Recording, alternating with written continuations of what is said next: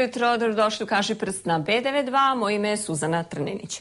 U Srbiji je na birovu, dakle, bez posla. 72 doktora nauka, 60.421 čovjek sa završenim fakultetom, 42.768 onih koji su završili visoku školu. Moj današnji gost je te podatke nedavno postavio na svom Twitter nalogu i tada je pitao uh, da li je Srbija bankrotirala. U kaši prst ovoga jutra gospodin Miodrag Stojković, genetičar, poslanik demokratske stranke. Dobro jutro, dobrodošli. Dobro jutro, hvala na pozivu. Kad ste se vratili u Srbiju, bili ste jedan od 12 najperspektivnijih naučnika u Srbiji. I da li ste tad bili svesni ove statistike? Pa jesam, zato što sam i ja jedan deo tih ljudi koji je eto, u tim 90. godinama morao da ode iz ove zemlje zato što je tražio posao, ono, tipično trbuhom za kruhom, kruhom, želao sam da se bavim svojim poslom, a to je u stvari nauka i istraživanje.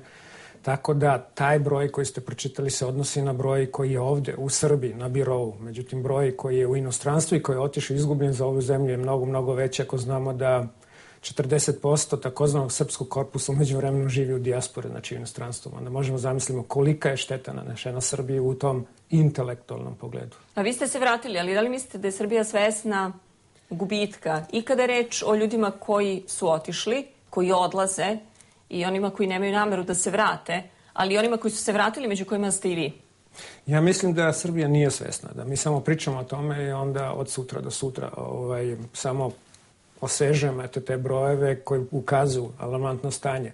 Nije svesna zato što mi nemamo ni evidenciju koje ljudi su otišli iz ove zemlje, znači koji profil ljudi i vrlo često se i ne zna gde su i čime se bave i da li se bave i dalje svojim poslom, što bi bilo jako bitno, jer ja koji bi želao da se dalje bavim naukom ovde u našoj zemlji, bi tako mogao kroz tu bazu podataka da ih lakše nađem, da mi pomogu, da bi se brže, efikasnije, bolje bavio naukom, jer je nauka u Srbiji trenutno jednom opet alarmantnom stanju zbog velike besparice, zbog velikih, ja bih rekao, čekanja, gubljenja vremena. Nauka nije nešto što čeka i gubi vreme. U nauci preti bankrot. Evo to je jedan tekst koji smo danas mogli da, da. Da, da, da pročitamo u Blicu. Dakle, kad vi kažete da je Srbija bankrotirala, oslanjujući se na ovu statistiku, to je bankrot čega? Bankrot vrednosti, jest, mozgova? Jeste, to je bankrot vrednosti, a moram da kažem pobeda gluposti, zato što svi mi znamo da onaj koji ne ulaže u obrazovanje, ne ulaže u nauku, ne ulaže u budućnost. To je odavno poznato i da je to, ja moram da kažem, obrazovanje i nauka su jedna valuta koje tokom vremena opstaju i donose svoje neke kamate i, i vraća narodu te kredite.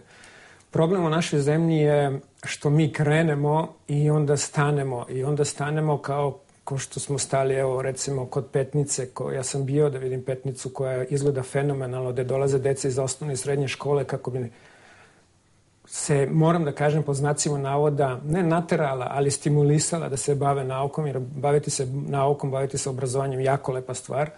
Um, oni tamo, eto, preživljavaju zato što nema dovoljno novaca da se njihov taj rad potpomogne, a napravljen je super ustanova. Drugi primer koji ću vam dati je da mi u našoj zemlji kupimo jednu skupu aparaturu koja služi kao u laboratoriji, košta negde 400.000 evra, a onda nemamo para da, nauči, da naručimo potrošni materijal da hranimo tu aparaturu. Znači, bacili smo, kupili smo Ferrari, nismo kupili, nemamo para da, da mhm. punimo gorivo. Mm -hmm. S druge strane imate, pet, ovaj, pored Petnici imamo i a, tehnološki park Zvezdara. Znači, To je za, završen objekat koji ima negde oko 14.000 kvadratnih metara, 13 miliona evra je koštao, savršen, perfektan, znači čime svi možemo se ponosimo. Više od godinu dana stoji prazno zato što a, nadležni nisu mogli da formiraju takozvano nadležno telo koje treba da bude nezavisno i koje treba da se brine o tom tehnološkom parku. A veliki broj ljudi kao ja i povratnika i oni koji su ovde, a pričamo svakog dana o tom IT sektoru, koliko je bitan zato što proizvodi više, izvozi više od malina, ali tako, čeka da se to otvori kako bi dobili prostorije tamo da rade. Znači, Kako se vi zbog toga osjećate? Frustrirano, jako frustrirano. Počeš i od Leskovca i Kragujevca. Um, Leskovac je jedna specijalna bolnica koja je čekala da krene s radom tri godine.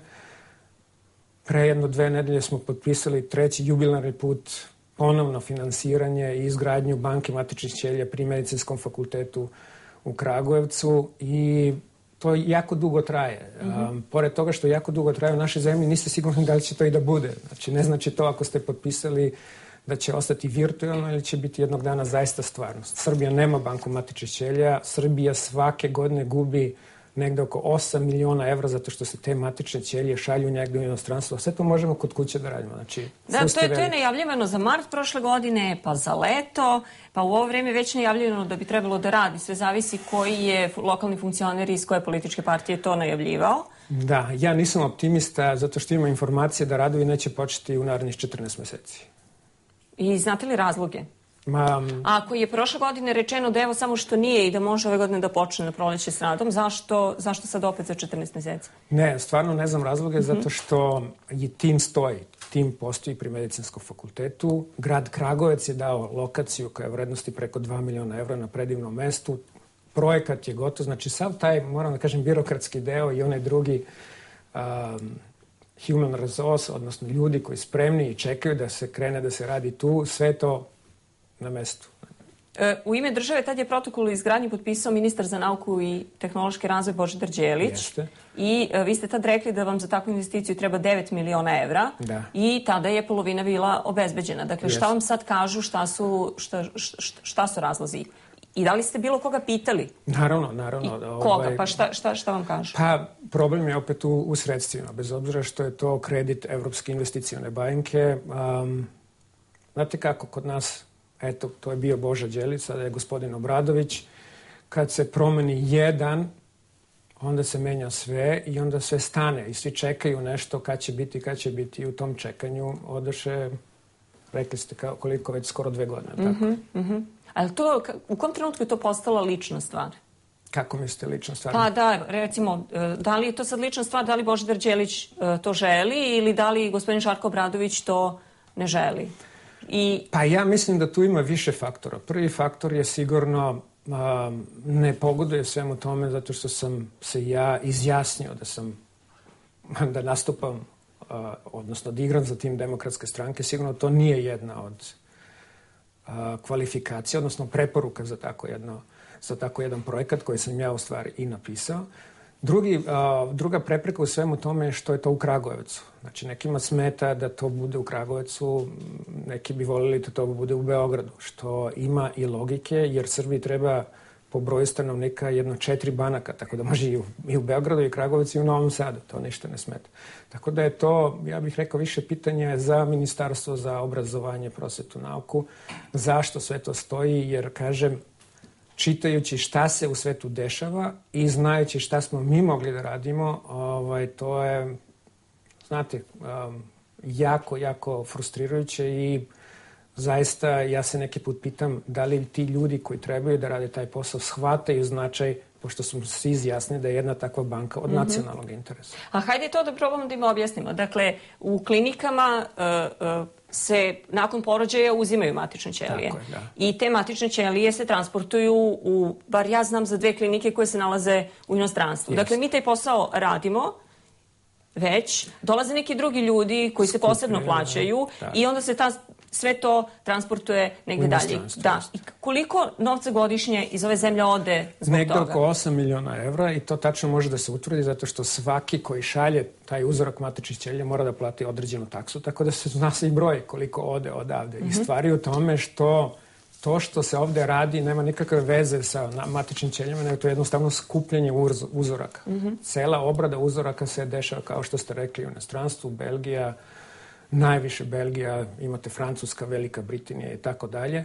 A u principu se to može da se radi kod nas, ali ne pričamo samo o matičnim ćelijama koje se dobijaju iz pupčevne vrpce. Govorim i o drugim vidovima matičnih ćelija koje imaju svoju medicinsku aplikaciju, a mi nemamo uslove da ih tretiramo kao lek, jer oni moraju da posjeduju neke standarde koje kao lek, znači moraju da budu čiste, ali moraju da budu sigurne po pacijenta. Tako da kad imate pacijente kojima treba transplantacija matičnih ćelija, oni opet idu u inostranstvo i nekad plaćaju do 120.000 evra za tu transplantaciju. A i to možemo da radimo kod kuće. A da ne pričamo o tome koliko smo izgubili u tom centru, u onom potencijalu. Znači, to treba da bude zaista banka i treba da služi u te regenerativne svrhe, odnosno terapeutske. Ali znate koliko mlade pametne dece ima ova zemlja koja jedva čeka da uđe tamo i da uči sve te nove tehnologije i metode kako dovesti tu matičnu ćeliju od laboratorija što pre do bolesničkog kreveta, a sa druge strane postoji nešto što se zove translacija, odnosno prevođenje nauke u proizvod. Mm -hmm. I to je jako ovaj, lepa stvar zato što vrednost, svetska vrednost tržišta matičnih ćelija trenutno je negde oko 54 milijardi evra godišnje. Mogli bismo i mi da imamo neki kolač odnosno deo kolača u celoj toj priči i da ljudi dolaze kod nas, a ne mi da idemo kod njih. I to je stvarno jako lepo i jednostavno objasniti, ali kod nas nekako, kažem, sve nešto dugo i traljavo i na kraju krajeva čitajući ovakve vesti i znajući sad kao i um, predsednik Skupštinskog odbora za obrazovanje i, i nauku više stvari, no moram da kažem da mi još i više boli glava, jer tad imate informacije koje dolaze tačno iznutra i vidite zaista koliko problema mi imamo i sa obrazovanjem i sa naukom u našoj zemlji i da to neki put čisto zato što dva čoveka ne umeju da komuniciraju jedni sa drugom. A kažete sebi da ste pogrešili? Ne. Što ste se vratili? Ne, evo mi smo slavili ove pet godine jubileja rada specijalne bolnice u Leskovcu i onda smo zvali uh, deo roditelja sa, sa decom i sa bebama i kad vi vidite kolika je to velika radost i naravno kad vidite te bebe, onda vidite da je sve to ok, sve to lepo. Ali opet se vraćam, to je 10% onoga što možemo da radimo. Ja bih volao da i onih 90% i ja se nadam ako bude tih 90%, da je manje više moja misija i samim tim i okončan, jer je to bila uvek moja želja kad sam otišao odavde, a to je da se vratim ovde i da nešto napravim i ostavim. Nije stvar u tome samo napraviti i zaboraviti, jer ta mhm. specijalna bolnica, taj Kragovac, treba da se gradi i nadgrađuje, da budu veći i bolji, a da tu deca budu bolje i od jednog Miodrag Stojkovića, jer ja znam da ih ima mnogo takvih i da mogu da budu bolji zato što im nedostaju samo uslovi, ništa mm -hmm. više. Dakle, vi imate s jedne strane tu ličnu satisfakciju, da. a s druge strane imate te stranačke ili već političke zidove koji se postavljaju i koliko puta u taj zid možete da udarite, koliko još imate snage? Pa dobro, ja sam To biste morali pitati moju suprugu. Ovaj, ona je navikla da ja idem glavom kroz zid. Ja, ja to karakterišem ne kao tvrdoglavost, nego kao upornost, jer znam šta je na kraju svega toga. Ali šta je na kraju? Evo sad ovaj put kojim ste krenuli. Šta je na kraju? Na kraju svega toga je jedan centar za regenerativnu medicinu, jedan novi medicinski fakultet, odnosno fakultet medicinskih nauka koji će pod istim krovom imati studente medicine, stomatologije i farmacije, jedan inkubator odakle će se novi geniji stvarati i koji će raditi u svojoj zemlji i neće morati kao ja da odu i napuste Nisam ja otišao zato što sam hteo i to je velika razlika između otići kad hoćete ili otići kad morate. Ja, mi sad moramo da se nadamo da gospodin Žarko Bradović e, gleda ovu emisiju i da, da će nešto tim povodom da uradi. Je li to pa, jedina nada? I ja se nadam, ja se nadam eto tim potpisom da će se nešto, kažem, promeniti, ali kažem, to je već treće potpisivanje. Ali ako opet učimo od primjera specijalne bolnice, ja sam sedam puta aplicirao za ono besplatnu van telesnu i bila je mhm. sedma sreća. Znači, ne treba odustajati, to bih ja ovako preporučio svima, a preporučujem i sebi da ne odustanu i sigurno neću. Da vi ste na taj problem uh, ukazivali prošle godine, dakle da postoji problem nedostatka novca da. za besplatnu vantelesnu oplodnju kod bračnih parova koji prirodnim putem ne mogu da, da imaju potomstvo i uh, taj problem dakle nije otklonjen i nije, on i dalje ne. postoji. On i dalje postoji, znači mi sa jedne strane imamo jedan ogroman pad nataliteta, da se podsjetimo kroz neke brojke, znači negde 30-35 hiljada ljudi u Srbiji je manje svake godine, manje se rodi, samim tim manje deca u škole, samim tim, ovaj, pošto sad gledamo ovo penziju ko će plati i tako dalje, manje u penzijni fond, manje ljudi koji će da rade, tako da je populacija sve starija, nema novih radnika.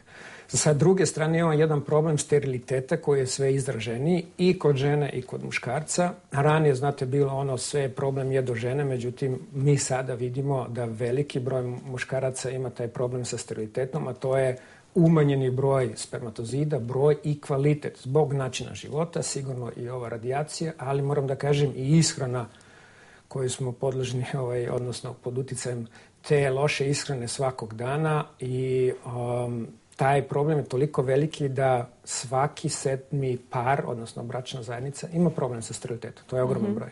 Mm -hmm.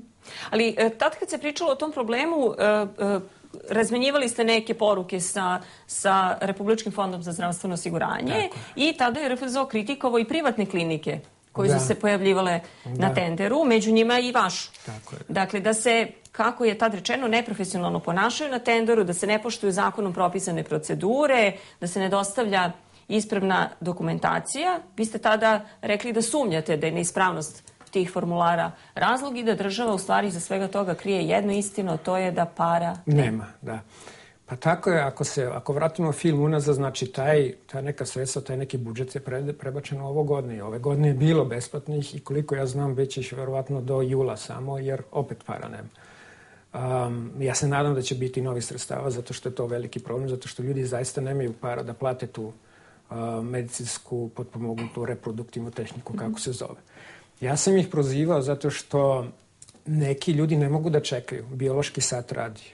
Nekima ljudima će zakon reći, izvinite, naročito kad žena napuni 40 godina, vi ste po znacima navoda sad prestari da biste ušli na taj program van telesna. Tako da se radi o ljudima, radi se o sudbinama koji Ko su nema... neki? Dakle, to postoji propisi kad Tako je reč o... Tako je, do 40 godina, da. I, to I onda je... su u, tak, u te parove ne ulaže Tako novac. je, tako uh -huh. je. Mhm. Znači, nema, nema besplatne za, za njih. Sa druge strane, oni se teraju da daju velika sredstva da bi radili neke analize. Moraju da skupe listu analiza koje moraju da budu dobre kako bi ušle u taj završni krug, odnosno na tu van telesnu.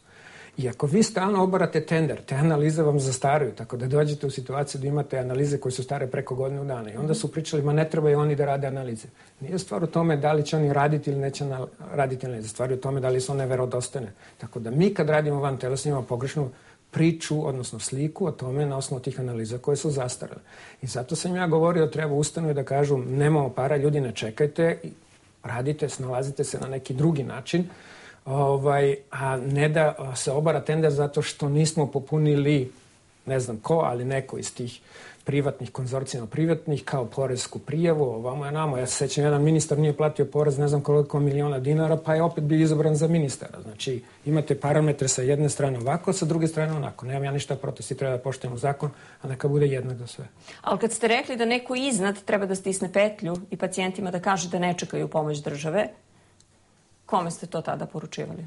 Pa, upravo Republičkom zavodu, jer su oni bili odgovorni zašto su tenderi obarani. Tako da oni su trebali da ustanu i da kažu o čemu se radi ili da predlože neku novu soluciju koju sam ja i na kraju predložio, a to je da svi zajedno sednemo i da nam oni pomognu da popunimo te papire, jer se ne radi, znate, o papirima, radi se o ljudskim sudbinama, ajte svi zajedno pa ćemo popuniti onako kako vi mislite da je ispravno i onda će proći tema. Ta argumentacija koju ste dobijali kada, kada su vas odbijali jednom je rezultirala da kažete ne bi me čudilo da idući put ne dobijem novac iz budžeta zato što mi u Leskovcu e, ne znamo gramatiku. Ja ne. verujem da ste da je to već bio neki kraj u kome potpuno paraf na, na, na jedan potpuno drugačiji način govorite o tom problemu, ali, ali e, da li je moguće da se da se o, o tako banalnim stvarima radi kada se e, e, klinike odbijaju ili, ili ne? Pa znate šta, meni je u poređenju sa ljudskom sudbinom sve banalno. Znači, ne možemo mi da stavljamo zakone ili propise iznad ljudske sudbine, kao što govorimo o redkim bolestima, tretiranju redkih bolesti, kao što čitam danas u novinama da Srbija nema DNK laboratoriju kanalizira Hranu. hranu. Znači, to su sve neke stvari koje ove, sigurno su mnogo bitnije od toga da li sam ja popunio obrazac F4 ili sam trebao F312 i šta ja znam to. O, sve u redu, sve to treba da se poštuje. Ali ako mi njih kao konzorciju molimo da nam pomognu da ispravimo to, jer mi se razumemo u van telesno, oni se razume u propise. Hajde zajedno sednemo pa rešavamo problem. Mhm. -huh. Ali često ponavljate da moramo da prestanemo da kukamo, da, da para nema i da moramo da radimo. Da. A šta da se radi? Pa šta da se radi? Ovaj, hajde da vam kažem šta da se radi. To je ono što mene najviše brine, da kad čitam izjavu, kad prodajemo, prodamo Telekom, šta ćemo da radimo s tim parama, kad nemamo projekte? Imamo projekte, ali tako? Dajte te pare da radimo sa tim projektima. Dajte da pravimo tu banku matečih ćelja, uposlimo nove ljude, da privlačimo ljudi iz inostranstva da dođu. Tako da, eto šta trebamo da radimo. Trebamo da, da ste, radimo... Jel ste vi u pogrešnoj političkoj partiji? Ne, ne, ne, ja ne mislim da sam u pogrešnoj političkoj partiji. Ja mislim da je u našoj zemlji politika stavljena iznad svega. Mhm. -huh. I to će da nas košta, i to nas već košta dosta toga, zato što ne mora da znači ako ste stručni, da ste automatski i podobni, zato što ako pribadate nekoj drugoj frakciji, odnosno nekoj drugoj stranci. Ali to vas pitam uh, prosto zbog toga što stalno, svaki vaš odgovor ide ka ka tome da se negde u nekom trenutku uh, kad, se, kad se taj kolač lomi ipak postavlja pitanje a koja je to politička partija? Pa zna se ko je na vlasti. Mislim, zna se ko um, vodi ovu državu. To što ste vi u demokratskoj stranci, da li to uopšte mora da bude bitno danas kad se govori o ljudskim životima i o tome koliko znači banka matričnih ćelija i koliko da znači finansiranje Ne treba da bude, ali ja mislim da kod nas jeste. I kad to pogledate, da li, da li vam Srbija pokazuje da ume da ceni vrednosti koje ste doneli vraćajući se u zemlju kao jedan od 12 najperspektivnijih naučnika u svetu? Pa dobro, meni lično ne, ne treba neko priznanje ili nešto. Ja se držim one stare, nemojte da mi smetate, samo me pustite da radim svoj posao. I mislim da je u tome u stvari i poruka svima da ljudi koji znaju svoj posao treba da se stimulišu bez obzira da li su plavi, žuti, zeleni ili crveni. To nema nikakve veze sa poslom. Ja tako i cenim ljude, ne cenim po tome o kojoj stranci pripadaju, nego cenim šta imaju za sebe, da, kakav je njihov rad, odnosno šta su ostvarili svojim radom i kako su došli do te pozicije tamo gde jesu. Tako da Meni lično to zaista ne treba, ali je pitanje da li je to dobra poruka ovim mladim ljudima koji žele nešto ovde da radi ili da ostanu ovde ili da otvore svoj neki posao.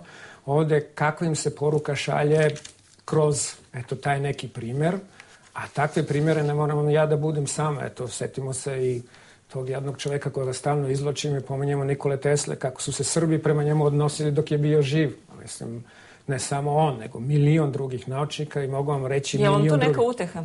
Ne, to mi nije utaha, to je već jedna tužna činjenica da opet se vraćamo na početak našeg razgovora da obrazovanje i nauka su u Srbiji pored kulture na zadnjem mestu. A zbog čega? U kom trenutku su obrazovanje, kultura, nauka postale manje bitne u odnosu na U onom, u onom trenutku kada se primetilo da biračko telo koje čini nauku i istraživače i i obrazovanje nije tako veliko kao kad pustite jedan reality show koji gledaju 1,5 miliona ljudi. A da li ovde stvar e, i siromaštva, dakle golog preživljavanja, da li se između tih stvari onda... Naravno da jeste, naravno da jeste. Mi jesmo siromašna zemlja, ali ako vi imate prioritete, onda opet moram da se pitam a, jedno osnovno pitanje šta će nama avioni, sad neki skupi migovi i tako dalje, kad znamo da svaka treća škola nema WC, kad znamo da 200 škola u Srbiji nema tečnu vodu i 1000 škola sa čučavce. Mislim, mi želimo sa jedne strane da budemo moderni, ali tako, a sa druge strane živimo u 19. veku. Prioriteti su osnovni. Naše je da toj deci obezbedimo uslove, da imaju normalne uslove, da idu u školu i da idu u školu pod jednim, znate kako, kad jedno dete ovaj, trpi šest sati da bi išlo u WC kod kuće ili nema gde da opere ruke usred zime i tako dalje. A, to je meni mnogo bitnije da se tu gleda, a ne da se gleda u nebo kakvi nam avioni lete. Uh mhm. -huh. Kada ste ušli u politiku, a pre nego što je formirana ova vlada, jednom trenutku ste rekli da je Srbija na prekretnici između toga da li će nastaviti putem evropskih integracija ili će da se vrati unazad u neki, kako ste rekli, nezdravi nacionalizam. Gde smo danas? Hmm. Pa gledajući evo ovako šta se sve dešava u poslednjih godinu dana, sigurno ja kao neko ko, moram da kažem, sebe vidim kao zdravog nacionalistu, znači cenim, poštem tuđe, ali čuvam svoje. Mislim da nismo mnogo uradili po tom pitanju. Nismo mnogo uradili zato što problem Kosova je na putu da se reši, ali se pakuje na jedan sasvim drugačiji način jer ćemo mi izgubiti te institucije koje će čuvati tu, te ljude tamo, čuvaće, neće čuvati više ni crkve, neće čuvati ni univerzitete. To je jedan problem. Drugi problem, čuje se glasi sa juga Srbije, tako da to meni Preševska dolina ovaj, i Bujanovac je jedno dalje aktualno žarište koje mi dalje potiskujemo. Potiskujemo nov, Novi Pazar. I sve se to nešto odlaže, odlaže, odlaže, a istorija iz koje, nažalost, mi vrlo redko učimo, nas je naučila da to takve stvari ne treba da se odlaže i da je jedini način je čuvati granice su ljudi i njihova radna mesta. Gospodin Stojkoviću, hvala vam što ste hvala vama. bili moj gost. Hvala vama koji ste bili sa nama. Do sutra. Doviđenja.